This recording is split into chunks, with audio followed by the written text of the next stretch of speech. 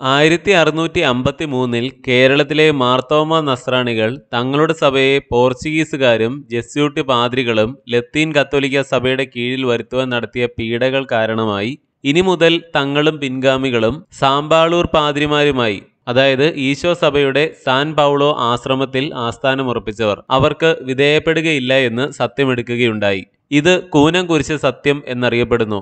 ഒരുപക്ഷെ വൈദേശിക താൽപ്പര്യങ്ങളോട് എതിർപ്പ് പ്രകടിപ്പിച്ച ഇന്ത്യയിലെ ആദ്യത്തെ സംഘടിത ചെറുത്തുനിൽപ്പ് ഇതായിരിക്കാമെന്ന് ചരിത്രകാരന്മാർ അഭിപ്രായപ്പെടുന്നുണ്ട്. രണ്ടായിരത്തി അഞ്ഞൂറോളം വരുന്ന വിശ്വാസികൾ കുരിശിൽ വടം കെട്ടി അതിൽ പിടിച്ച് ഒരേ സമയം സത്യം ചെയ്യുകയും തൽഫലമായി കുരിശ് വളഞ്ഞ് കൂനായതുകൊണ്ട് കൂനൻ കുരിശ് എന്ന പേരിൽ അറിയപ്പെടാനും തുടങ്ങി. കേരളത്തിലെ ആദ്യകാല ക്രിസ്ത്യാനികൾ അധികവും തോമസ് ലിഹായുടെ കാലത്ത് മതപരിവർത്തനം നടത്തിയ യഹൂദന്മാരും നാട്ടുകാരും മധ്യപൗരസ്ത്യ ദേശത്തു നിന്നും മറ്റും കുടിയേറി വന്നവരുമായിരുന്നു. പ്രാദേശികമായ ആചാരങ്ങൾ അവർക്കിടയിൽ വേണ്ടുവോളം ഉണ്ടായിരുന്നു. അന്നത്തെ രാജാക്കന്മാരുടെ കാലത്ത് അവർക്ക് പ്രത്യേകം പരിഗണനകൾ കിട്ടിയിരുന്നു. ഹിന്ദുക്കളായ അധ്യാപകരുടെ കീഴിൽ വിദ്യ അഭ്യസിക്കുകയും പതിവായിരുന്നു. മാർത്തോമ നസ്രാണികൾ ആയിരത്തി അഞ്ഞൂറ്റി രണ്ടിൽ വന്നെത്തിയ വാസ്കോഡ ഗാമയുടെ അടുത്ത് തങ്ങളെ പോർച്ചുഗൽ രാജാവിന് കീഴിലാക്കണമെന്നും മറ്റും അഭ്യർത്ഥിച്ചു. അങ്ങനെ പോർച്ചുഗീസുകാർ അവരുടെ കൂടെ മിഷണറിമാരെ കൊണ്ടുവന്നു തുടങ്ങി. ആദ്യം ഇവരോട് വളരെ സൗഹാർദ്ദപരമായാണ് കഴിഞ്ഞു വന്നത്. ആദ്യകാലങ്ങളിൽ വിശുദ്ധനായ ഫ്രാൻസിസ് സേവിയറിന്റെ നേതൃത്വത്തിൽ മതപ്രവർത്തനങ്ങൾ നടന്നിരുന്നതൊന്നും ആരും എതിർത്തിരുന്നില്ല. എന്നാൽ പിന്നീട് കേരളത്തിലെ നസ്രാണി ക്രിസ്ത്യാനികളെ പൂർണമായും തങ്ങളുടെ വരുതിയിൽ കൊണ്ടുവരാനുള്ള ശ്രമങ്ങൾ പോർച്ചുഗീസുകാരുടെ ഭാഗത്തു നിന്നുണ്ടായി. ആദ്യകാലങ്ങളിൽ കേരളത്തിലെ നസ്രാണി സഭയെ പേർഷ്യയിൽ നിന്നും മറ്റുമുള്ള മെത്രാന്മാരായിരുന്നു ഭരിച്ചിരുന്നത്.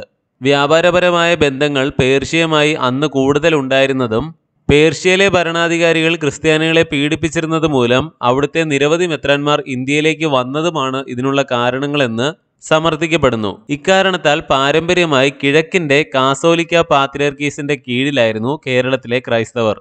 ആയിരത്തി അഞ്ഞൂറ്റി നാൽപ്പത്തി ഒന്നിൽ ഫ്രാൻസിസ്കർ വൈദികർ കൊടുങ്ങല്ലൂരിൽ ദേവാലയം നിർമ്മിച്ചു. ആയിരത്തി അഞ്ഞൂറ്റി നാൽപ്പത്തിരണ്ടിൽ ഈശോ സഭക്കാരും അതായത് ജസ്യൂട്ടുകളും ആയിരത്തി അഞ്ഞൂറ്റി നാൽപ്പത്തി എട്ടിൽ ഡൊമിനിക്കൻ സഭക്കാരും ആയിരത്തി അഞ്ഞൂറ്റി എഴുപത്തിരണ്ടിൽ അഗസ്തീനിയൻ സഭക്കാരും ഇന്ത്യയിലെത്തി.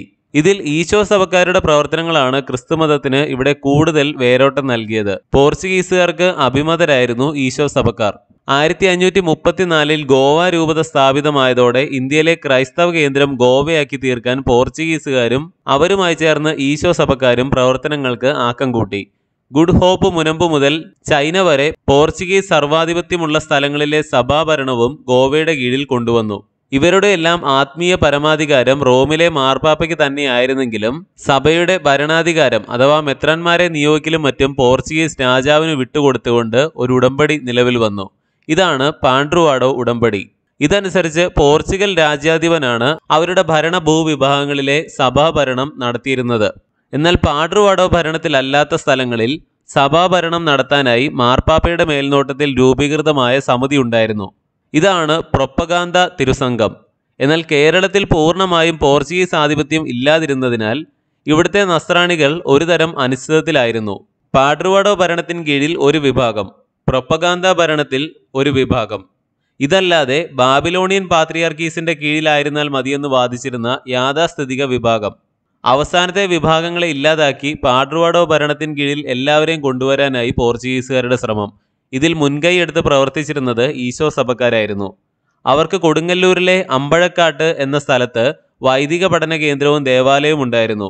ഇത് സെന്റ് പോൾസ് എന്നറിയപ്പെട്ടിരുന്നു. പ്രാദേശിക ഭാഷയിൽ ഇത് സെയിന്റ് പൊളൂർ എന്നും ഇന്നത്തെ സാമ്പാളൂർ എന്നുമായി മാറി. ആയിരത്തി അഞ്ഞൂറ്റി അമ്പത്തി മൂന്നിൽ കൊച്ചി രൂപത സ്ഥാപിക്കുകയും ഗോവ അതിരൂപതയുടെ കീഴിലാക്കുകയും ചെയ്തെങ്കിലും സുറിയാനിക്കാർ അങ്കമാലി അതിരൂപതയുടെ അതായത് പൗരസ്ത്യ സുറിയാനി രൂപതയുടെ കീഴിൽ തന്നെ സ്വതന്ത്രമായി പ്രവർത്തിച്ചു. ഇത് പോർച്ചുഗീസുകാർക്ക് അത്ര ഇഷ്ടപ്പെട്ടില്ല. അങ്ങനെയിരിക്കെ അങ്കമാലി മെത്രാപ്പോലിത്തിയായിരുന്ന മാർ എബ്രഹാം കാലം ചെയ്തു. ഇത് അവസരപ്പെടുത്തി ഗോവ മെത്രാപ്പോലിത്തിയായിരുന്ന അലക്സിയൂസ് ഡേ മെനസിസ് ഉടനെ കേരളത്തിലെത്തി അങ്കമാലിയെ ഗോവയ്ക്ക് കീഴിൽ കൊണ്ടുവരുത്താനുള്ള ശ്രമങ്ങൾ ആരംഭിച്ചു. എന്നാൽ പാരമ്പര്യമനുസരിച്ച് അങ്കമാലി രൂപതയുടെ ഭരണം ഗീവർഗീസ് ആർച്ച് ഡീക്കൺ ഏറ്റെടുത്തിരുന്നു. അദ്ദേഹം ഗോവ മെത്രാപോലീത്തയുടെ മേലധികാരം സമ്മതിക്കാൻ തയ്യാറായില്ല. എന്നാൽ മെനസിസ് അദ്ദേഹത്തെ തന്ത്രപൂർവം തന്റെ വാസസ്ഥലത്ത് വെച്ച് ഒരു രേഖയിൽ ഒപ്പിടുവിച്ചു. ബാബിലോണിയ പാത്രിയർഗീസുമായി ബന്ധം വിടുവിക്കുന്നതിന്റെ രേഖയായിരുന്നു അത്. അന്ന് കത്തോലിക്ക വിഭാഗത്തിന്റെ തലവൻ മാർ ശമയോനും നെസ്തോറിയൻ വിഭാഗത്തിന്റേത് മാർ ഏലിയാസുമായിരുന്നു. എന്നാൽ ബാബേലിന്റെ എല്ലാവരും നെസ്തോറിയന്മാരാണെന്നും കത്തോലിക്കരല്ലെന്നും വരുത്തി തീർക്കാനുള്ള ശ്രമമായിരുന്നു മെനസസിന്റേത്. ഇത് കേരളത്തിലെ സുറിയാനി ക്രിസ്ത്യാനികളെ അസംതൃപ്തരാക്കിയ സംഭവമായിരുന്നു. അർക്കദിയാക്കോൻ മെനസസിന്റെ കയ്യിലെ പാവ മാത്രമായി തീർന്നിരുന്നു. താമസിയാതെ ഡോം മെനസിസ് മെത്രാപ്പോലിത്ത ഉദയംപേരൂർ സൂനഹദോസ് വിളിച്ചുകൂട്ടി. ഇന്ത്യയിലെ ആദ്യത്തെ സൂനഹദോസ് ഇതായിരുന്നു. എങ്കിലും ഇതിന് മാർപ്പാപ്പയുടെ അംഗീകാരമില്ലായിരുന്നു. ആർച്ച് ഡീക്കണും അറുന്നൂറ്റി അറുപത് അൽമായ പ്രതിപുരുഷന്മാരും നൂറ്റി അമ്പത്തിമൂന്ന് കത്തനാന്മാരും സുറിയാനികളെ പ്രതിനിധാനം ചെയ്തു.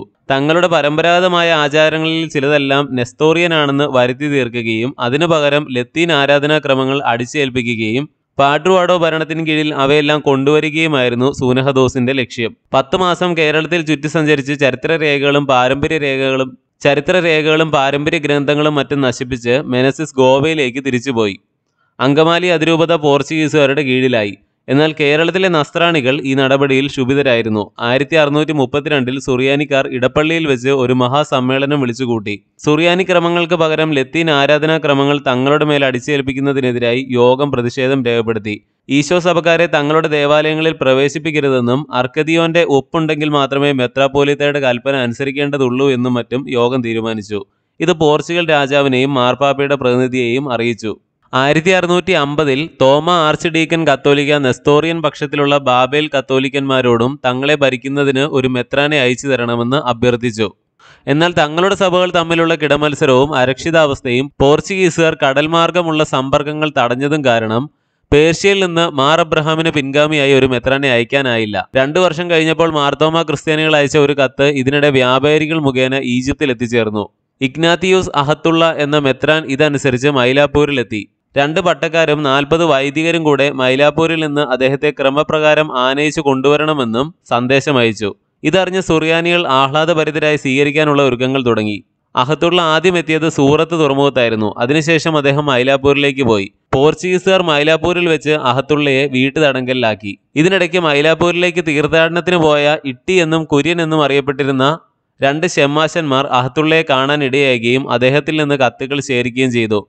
അതിനുശേഷം അഹത്തുള്ളയെ കൊച്ചിയിലേക്ക് പോർച്ചുഗീസുകാർ കൊണ്ടുവന്നു. പിന്നീട് കോട്ടയിൽ പാർപ്പിച്ചു. ഇതറിഞ്ഞ് ആർച്ച് ഡീക്കനും അനേകം വൈദികരും ആയിരക്കണക്കിന് നസ്രാണികളും കൂടി കൊച്ചിയിലെത്തി ഹത്തുള്ളയെ കാണുന്നതിനും അദ്ദേഹത്തിന്റെ അധികാരപത്രങ്ങൾ പരിശോധിക്കുന്നതിന് അനുവദിക്കണമെന്നും രേഖാമൂലം ആവശ്യപ്പെട്ടു. എന്നാൽ ഈ ആവശ്യം നിരസിക്കപ്പെട്ടു. ഇതിനുശേഷം അഹത്തുള്ളയെ ഗോവയിലേക്ക് കൊണ്ടുപോവുകയും അവിടെ നിന്ന് പോർച്ചുഗലിലേക്ക് കപ്പൽ കയറ്റി വിടുകയും ചെയ്തു. എന്നാൽ ഇതേ സമയം അദ്ദേഹത്തെ സ്വീകരിക്കാൻ എത്തിയിരുന്ന മാർത്തോമ ക്രിസ്ത്യാനികളുടെ ഇടയിൽ മാർ അഹദുള്ളയെ പോർച്ചുഗീസുകാർ കഴുത്തിൽ തിരികല്ല് കെട്ടി കടലിൽ താഴ്ത്തിയെന്ന കിംവദന്തി പരന്നു. ക്ഷുഭിതരായ സുറിയാനി ക്രിസ്ത്യാനികൾ മാർത്തോമ ഒന്നാമന്റെയും ആഞ്ഞിലിമൂട്ടിൽ ഇട്ടിത്തൊമ്മൻ കത്തനാരുടെയും നേതൃത്വത്തിൽ കൊച്ചി കോട്ടയിലേക്ക് ജാഥ നടത്തി. ഒരു കൂട്ടർ കോട്ടവാതിൽ തകർത്തു. പോർച്ചുഗീസുകാർ ആയുധങ്ങൾ ഉപയോഗിച്ച് ചേർത്തു പിന്നീട് അവർ കൂട്ടം ചേർന്ന് മട്ടാഞ്ചേരിയിലെ പഴയ കുരിശിന്റെ മുൻപിൽ കൂട്ടം ചേർന്ന് കുരിശിൽ തൊട്ട് പ്രതിജ്ഞയെടുക്കുവാൻ തീരുമാനിച്ചു. എന്നാൽ എല്ലാവർക്കും ഒരേ സമയം കുരിശിൽ തൊടാൻ കഴിയാത്തതിനാൽ കുരിശിൽ ആലാത്ത് കെട്ടി അതിൽ പിടിച്ച് സത്യം ചെയ്തു. മേലാൽ ഈ വർഗമുള്ള കാലത്തോളം സാമ്പാളൂർ പാതിരിമാരുടെ കീഴിൽ ഇരിക്കുകയില്ല എന്നതായിരുന്നു ആ ചരിത്രവാചകം. സത്യം ചെയ്യുന്നതിനിടയ്ക്ക് വിശ്വാസികൾ വലിക്കുന്ന ശക്തിയാൽ കുരിശ് വളഞ്ഞുപോയി ഈ സംഭവം കൂനൻ കുരിശ് പ്രതിജ്ഞ എന്ന പേരിൽ പിന്നീട് അറിയപ്പെട്ടു.